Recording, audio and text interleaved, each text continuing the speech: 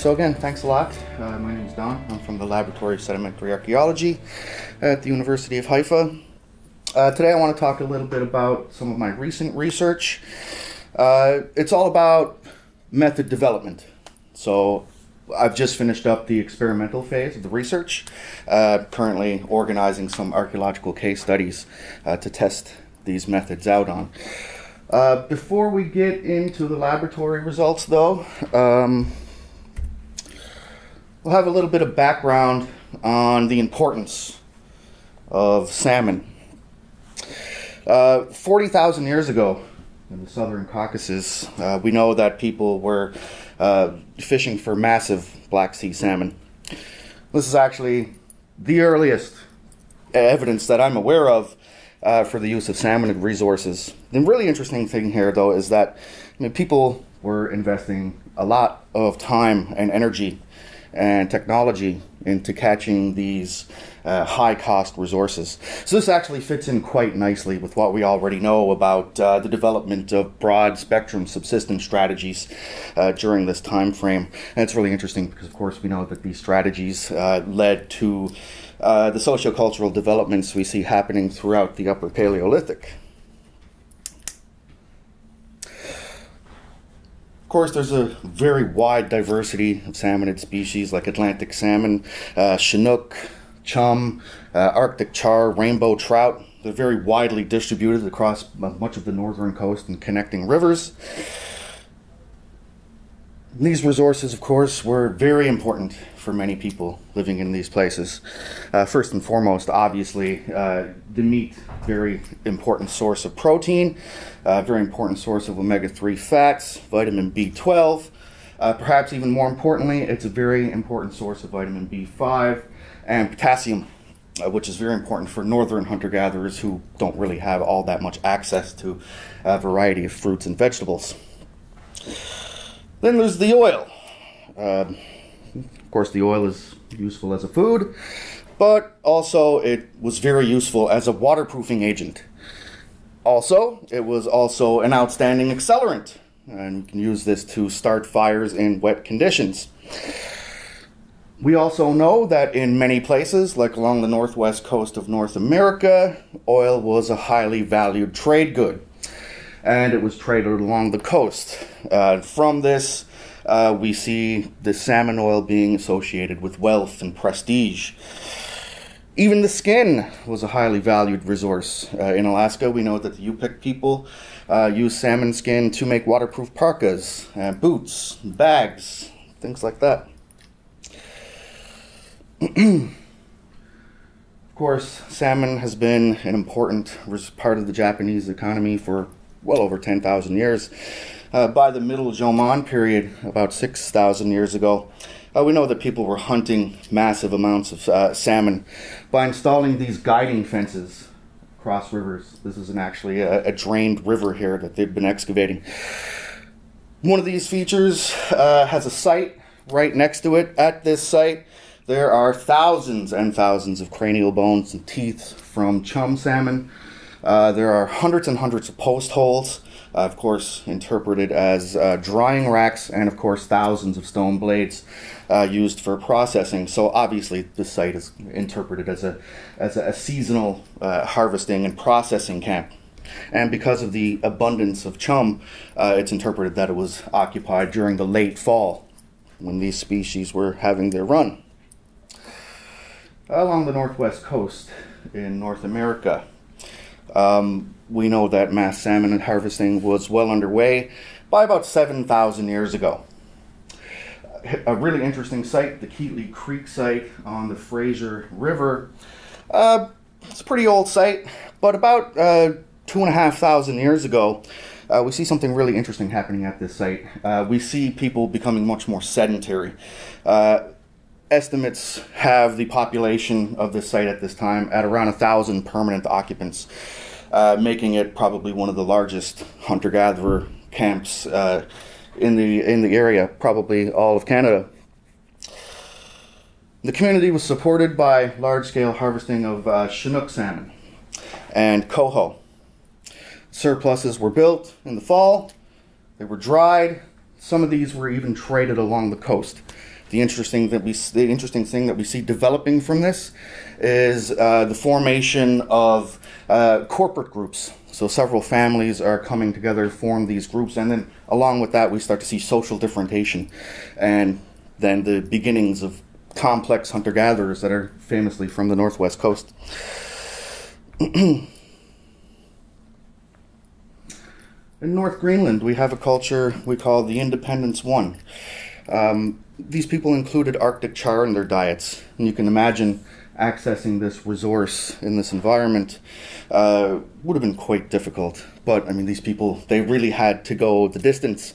They had to develop technologies, uh, social networks, they had to gain landscape knowledge that allowed them to diversify and uh, maximize resource exploitation in this environment. It's kind of a marginal, marginal environment.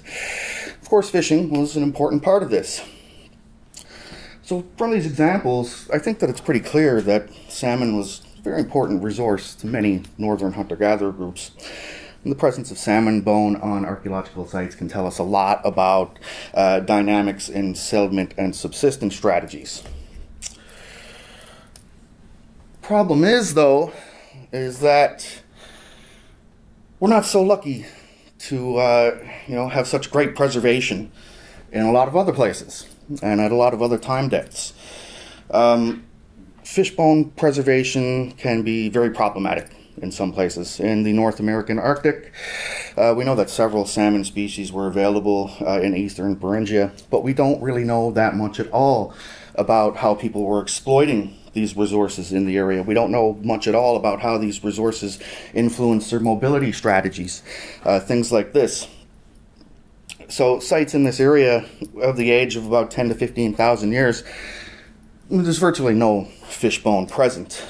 And this is thought to be the result of poor preservation. We have the same story in the Arctic archipelago uh, for the pre-Dorset people. These people were actually the first people uh, to move into the high eastern Arctic, probably about 4,000 years ago. They're generally assumed in, in the common knowledge to have fished for Arctic char. They would have done this in the late summer.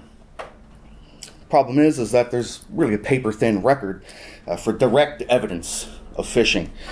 Uh, for example, we have an incredibly rich archaeological record on Igloolik Island. At a site called Lyon Hill, for example, well over 100 archaeological features have been examined. Uh, not a single fish bone was reported. Um, so, based on this site and many others like it, it kind of really looks to me like uh, Arctic char wasn't really an important part of the pre Dorset adaptation to the high Arctic. the researchers are having the same problem in northern Finland. Uh, we have hunter gatherers there, uh, hunter gatherer groups there about 7,000 years ago. Some of my colleagues have been studying sites of these people along the Joki River. Uh, it turns out, you know, they, they expect that people were salmon fishing along these rivers. The rivers are very rich in salmon. There's really nothing. They have maybe two, three salmon bones for the whole kind of length of it. So um,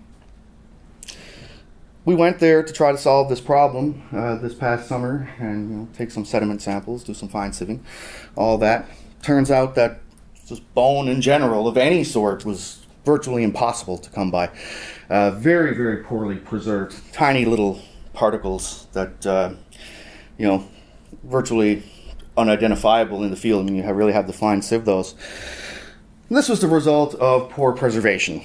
And of course, what we have here uh, is uh, typical of the region, very wet uh, and acidic conditions. Uh, not a good situation for salmon bone. fish bone in particular has uh, several characteristics that make it susceptible to rapid decompositions in these types of soils. First of all, it's exceptionally porous, and this exposes much of the collagen and mineral surfaces uh, directly to chemical and physical weathering processes. Then there's the amount of organic matter. We can see here that uh, after uh, treatment, uh, this bone contains about 40% organic matter. That's over double the amount of organic matter bone typically has which is around 20%, 15, 20%, of course. Problem here is that this greater amount of organic matter invites greater microbial activity. Uh, so there's a lot more bioerosion that can happen in these types of bones. Uh, with this bio- bioerosion, of course, this further increases the porosity of the mineral, further exposing the mineral surface area to acids and soils and sediments. and then we have a problem with the structure of the collagen and its interfacing with the mineral component. And here we have a comparison uh, of the infrared spectra of caribou on top and salmon on the bottom. Uh, one of the first things we can notice immediately, oh, I should clarify that this is a, an extract of collagen. It's not the full bone, the collagen's extracted so we can see the, the components, the secondary components of the polypeptide chain a lot better. Uh, so the first thing that jumps out is the 1655 peak here. It covers far less area in the salmon, far greater area in the caribou. And what this indicates is the uh, collagen bundle packing. So collagen uh, has three strands, uh, triple helical. Uh, those are very loosely wrapped up, and it's indicated by this in the IR spectra. So again, that gives more area for microbes to attack. Uh, then we have the 1630 peak here. It's quite a bit bigger uh, more pronounced in the caribou. This is from uh, hydroxyproline.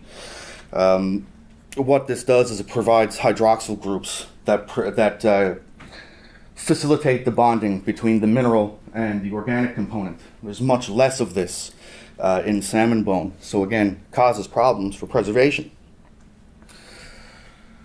So, the whole goal of my project is to figure out how to solve this issue. Uh, of course, one way to solve this issue is to look at sedimentary proxies uh, for fish remains. I think waste management strategies uh, are going to provide some pretty good evidence, uh, pretty good pro proxy evidence for fish bone. And why is this? Uh, I spent a lot of time living with Inuit people uh, during my work in the Canadian Arctic, and we did quite a bit of fishing. You know, it was kind of essential. I mean, when you're living off spam, in the Arctic, you kind of want to go fishing every day after work. So we ate quite a lot of Arctic char. And we would always kind of do the same thing with it. We, you know, we would skin it, um, slice it up so we could dry it into what the local people call pitsik. Uh, we'd make soup with the heads, and we'd take the spines and turf them in our fire. Uh, and I mean, waste disposal like this this is very deep history. I mean, it's probably the oldest form of waste disposal, no? I mean, it's ubiquitous among past hunter gatherers. So the argument here is that uh, the domestic hearths uh, of salmonid fishers would have likely acted as nodes uh, for salmon bone refuse.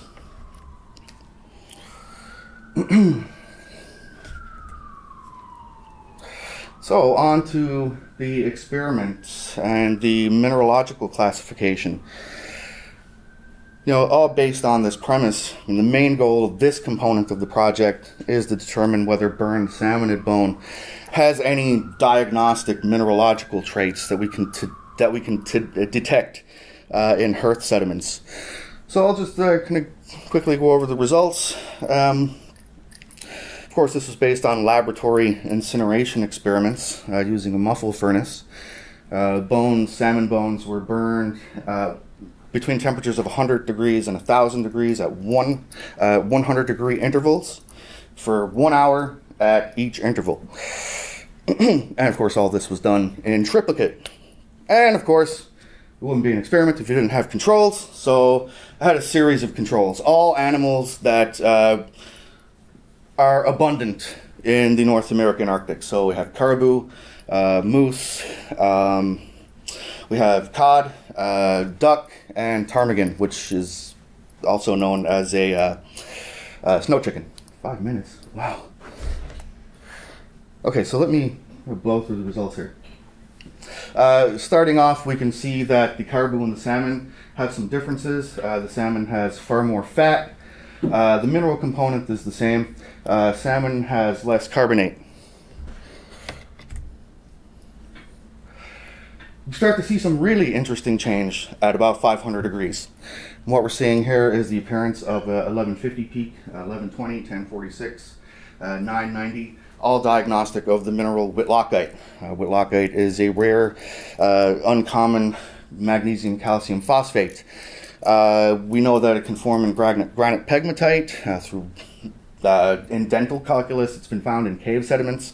Now we also have some evidence that it forms in salmon bone burned at 500 degrees. I keep thinking this is the clicker, but it's not. Um, here we have the X-ray diffraction confirmation that uh, this is in fact whitlockite. Uh, we have the key peaks here outlined in blue. On top we have the regular diffractogram. On bottom the results of the Rietveld refinement, which separates and quantifies the mineral phases. We can see we have a very small amount of whitlockite. We also know it's whitlockite because of the calcium to phosphate ratio of uh, 1.38. For this to form, we need an abundance of magnesium. This was confirmed through the SEM EDS analysis. And then at 600 degrees, things are really starting to get interesting. So what we have here is the uh, formation of a tricalcium phosphate mineral out of the whitlockite. Uh, so we lose the whitlockite peak here, the 1120 gets much stronger. We get a 1075, 1046. All these peaks, diagnostic tricalcium phosphate. Strange thing is, though, is the 984 and 945. Uh, these should be at 970 and 940, but they're shifted slightly. The reason for this is because there's so much magnesium present in the mineral lattice. Why this is, is that uh, magnesium has substituted calcium. Uh, the magnesium ion is a little bit smaller so it causes the lattice to contract, causes these peaks to shift. So we know that we have a lot of magnesium uh, present in the mineral. Here we have again the confirmation uh, for beta magnesium tricalcium phosphate at 600. Uh, pretty well formed, 17 to 20% formed. And again, with the calcium plus magnesium to phosphate ratio of 1.53, that's pretty much dead on uh, with what it should be for this mineral. So why does this happen? It happens because of the large amount of organic matter and the large amount of magnesium in the salmon bone. We can see here that at 4 to 500, we're losing a lot of weight in the salmon bone. That's because of the organic matter, specifically the fat. So this combusts. What happens is it's causing a temperature spike. Uh, localized. You know, the oven says 600, but within the bone itself, it's, it's a, a bursting in temperature. We know this because we've lost the carbonate at 600 degrees. We shouldn't lose the carbonate until 700 plus, so there must be a temperature spike. uh, 800 degrees, showing no formation in caribou, nor did it form in any of the other animals, but a very well formation uh, in salmon at 800 degrees. Confirmation through XRD, we can see that a lot of the mineral has formed, 60%.